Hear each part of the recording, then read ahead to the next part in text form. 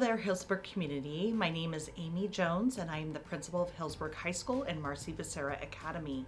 I'm here to give you a little bit of update of things happening here at HHS. For one, we are building our master schedule for next year, which is really important. Our students are going through and selecting their courses, so we're trying to build that to make certain that our students are able to take the courses that really interest them, and of course, those courses were students that really want to push themselves to be ready for those wonderful colleges and universities. Additionally, our juniors finished doing their internships.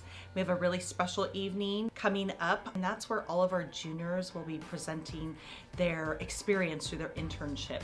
We had students all over and it was just wonderful to have them immersed in the community.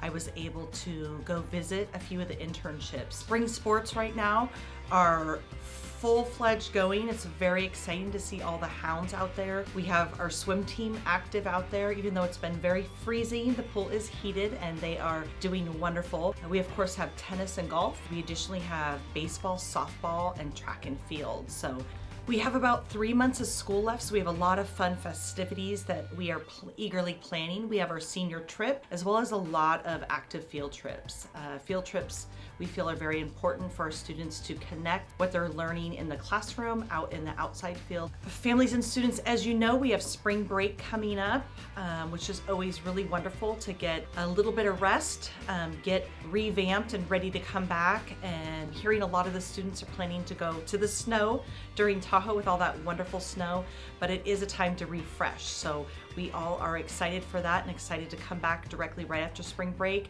and have a wonderful finish of the school year. Again, my name is Amy Jones. If you ever have any questions or want to come to meet me to get to know me better, my door is always open. I welcome all families anytime.